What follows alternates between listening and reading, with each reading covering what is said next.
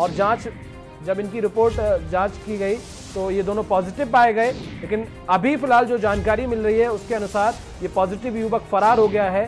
फ़िलहाल पुलिस जाँच में जुटी हुई है, लगातार प्रयास कर रही है जल्द से जल्द पकड़ने के। तो इसकी पूरी जानकारी सीएमओ ने दी है।